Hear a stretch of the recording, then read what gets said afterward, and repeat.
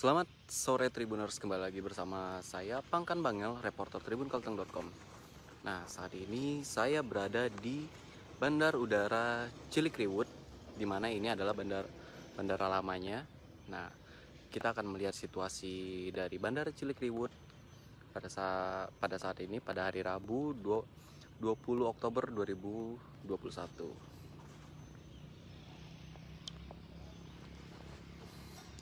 Nah, mungkin Tribuners yang ada di Kota Palangkaraya ataupun di Kalimantan Tengah pasti sangat mengetahui Bandara Cilikriwut. Apalagi ini merupakan jalur transportasi udara utama di Kalimantan Tengah.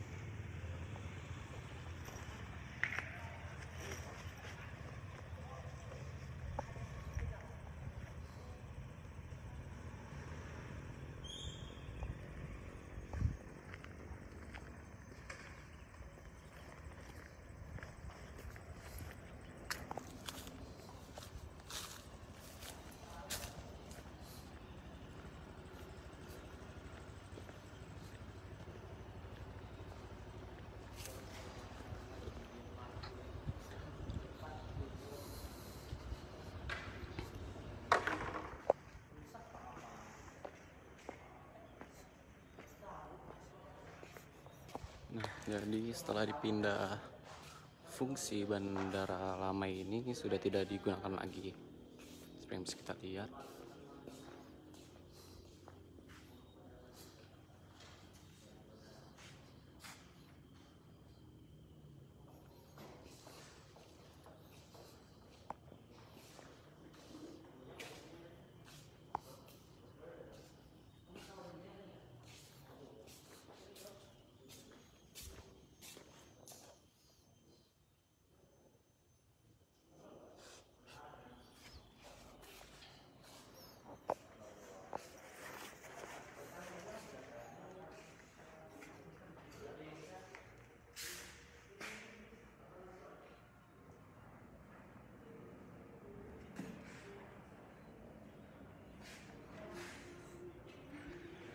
Jadi sebelumnya bandara Bandar Udara Cilikriwut mempunyai nama pelab, nama Pelabuhan Udara Panarung berdiri pada tanggal 1 Mei 1958.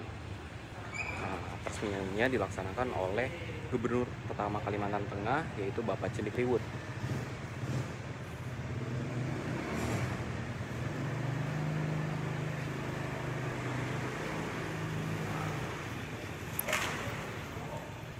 dan pada saat itu difungsikan dan didarat pesawat terbang jenis Twin Otter dari TNI Angkatan Udara pada tanggal 24 September 1973. Pelabuhan Udara Panarung oleh pemerintah daerah Kalimantan Tengah diserah terimakan kepada Direktorat Jenderal Perhubungan Udara Departemen Perhubungan RI.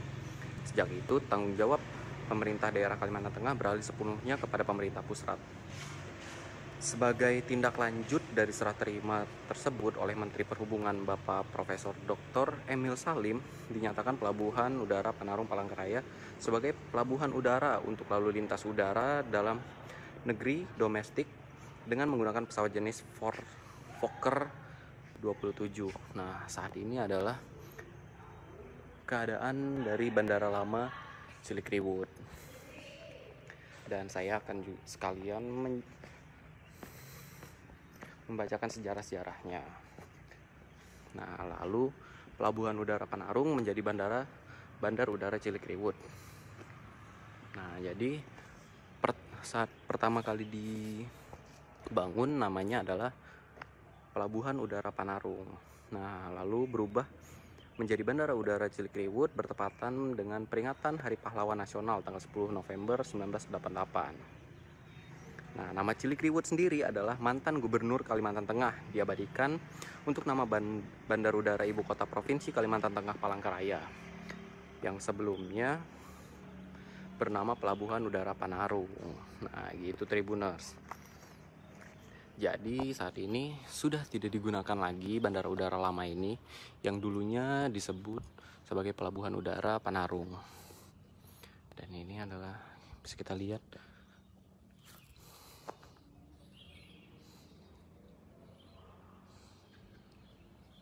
Nah, lalu Saat ini pada tanggal 28 Maret 2019, terminal baru bandara ini mulai dioperasikan.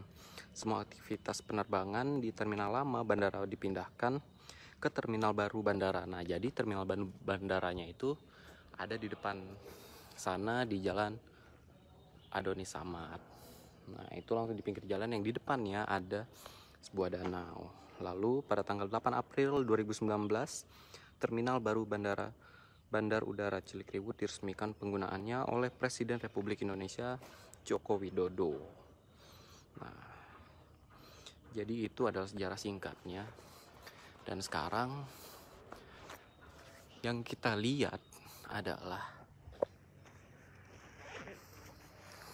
kondisi dari bandara Bandar Udara Cilikriwut yang lama. Nah, terlihat dari pantauan saya, ya sudah tidak dibersihkan lagi karena sudah tidak digunakan. Nah, ini adalah keberangkatan atau pintu keberangkatannya.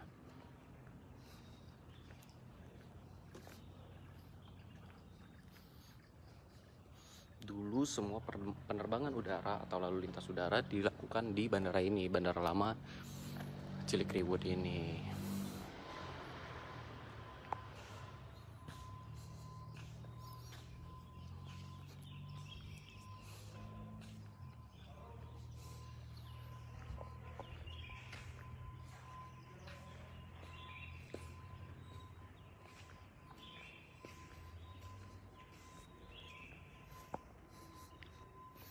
Pasti Tribuners yang lahir tahun 90-an pasti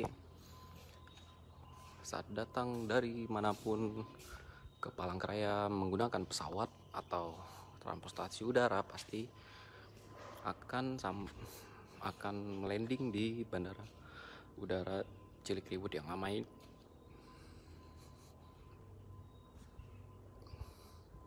Dan ini adalah pintu kedatangannya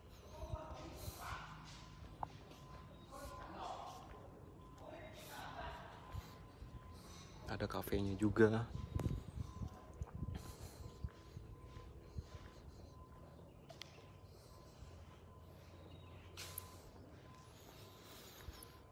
Dan juga tumbuhan-tumbuhan di sekitar bandara lama ini sudah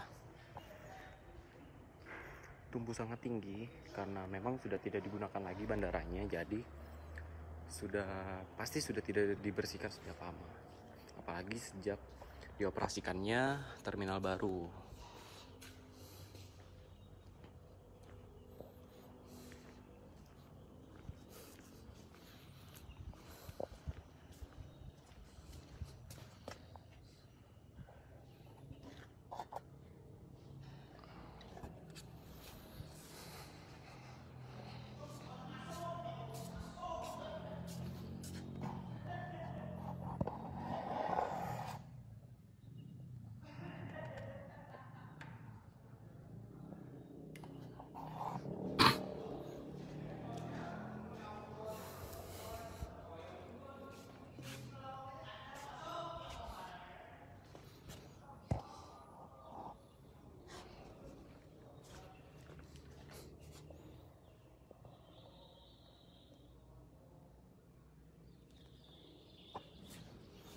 ternyata bisa masuk Tribuners saya tidak tahu jadi saya melihat dari kaca tadi.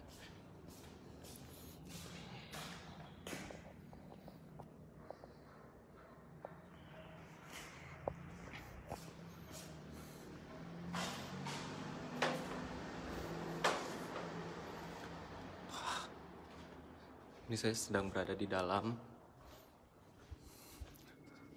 Nah Tribuners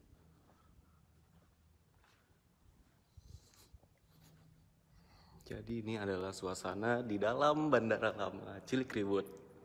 Dan saya seperti bernostalgia karena saya sangat sering menggunakan transportasi udara karena dulu saya sebelumnya bersekolah di Jawa. Jadi saat saya pulang saya pasti menuju Palangkaraya dan melewati jalan-jalan yang ada di sini. Tribunars.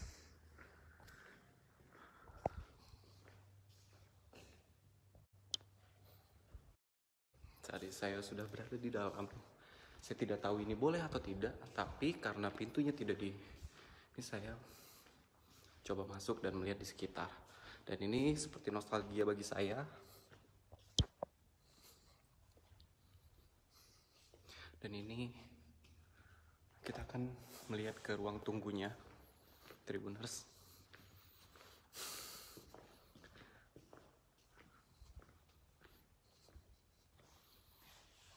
terlihat sangat sepi karena memang sudah tidak digunakan lagi bandara ini. Dan ini adalah ruang tunggunya, ruang tunggu 1, 2, 3, dan 4. Jadi kalau misalkan Tribuners jalan ke sana itu, kalau Tribuners yang pernah da, uh, menggunakan transportasi udara, pasti pernah juga melewati terminal untuk keberangkatan ini. Nah, dan ini adalah ruang tunggunya. Kita akan mencoba lihat ke toiletnya.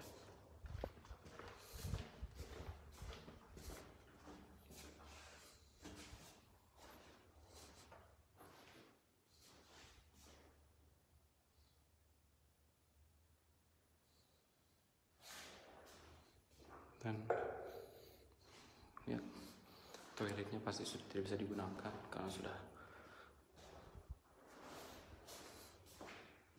Namun lampu-lampu di sini masih hidup. Dan ini untuk toilet prianya.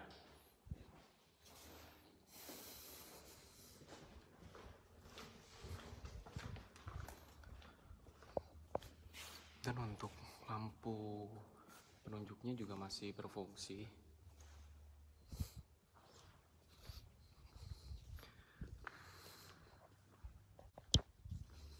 Tribunas jadi saya akan menemani kalian berkeliling-keliling Bandar Lama Cilik Ribut. Dan kita akan ke terminal. Oh jadi ini ruang tunggu tiga. Tribuners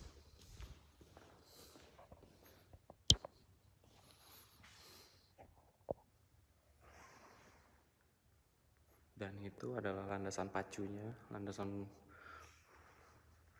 landing dan juga take off.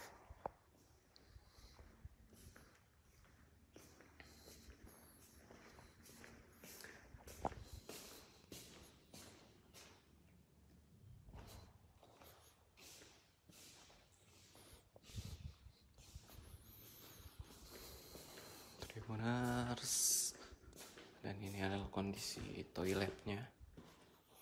Dan di sini terlihat tidak tidak terawat tidak seperti toilet yang di ruang tunggu satu dan dua.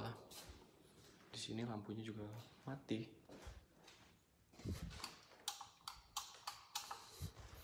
Tidak bisa hidup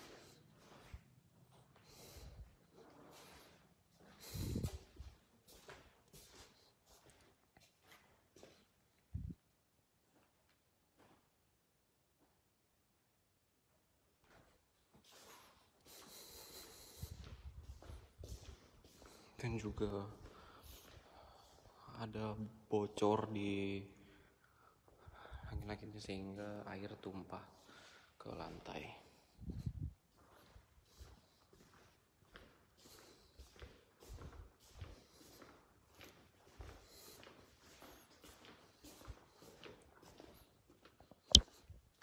Nah, Tribuners, mungkin itu saja yang bisa saya bagikan kepada Tribuners. Uh, terima kasih sudah menonton live dari saya, reporter tribunkalteng.com, Pangkan Bangel, bagaimana situasi dan kondisi Bandara Lama Cilik Ribut saat ini. Nah, terima kasih Tribuners, salam sehat, salam bahagia, selamat berlibur. Tribun Network, mata lokal menjangkau Indonesia.